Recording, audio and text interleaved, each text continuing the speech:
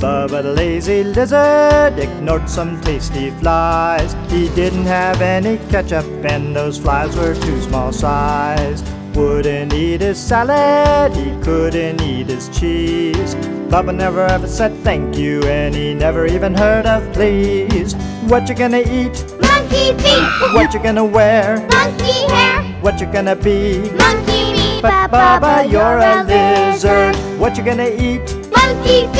What you gonna wear? Monkey hair. What you gonna be? Monkey meat. But Bubba, you're a lizard.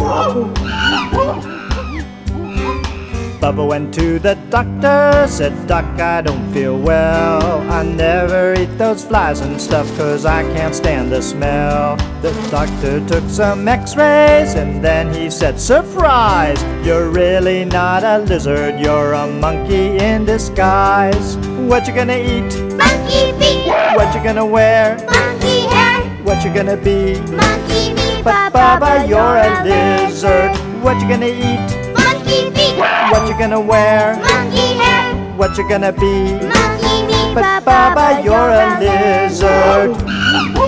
And the moral of the story is Always eat your salad and don't forget your cheese. Remember to say thank you and remember to say please.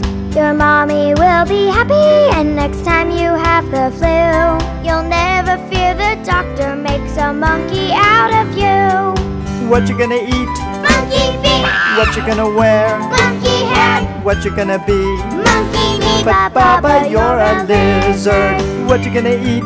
Monkey feet, What you gonna wear? monkey hair, What you gonna be? monkey meat. But Bubba, you're a lizard.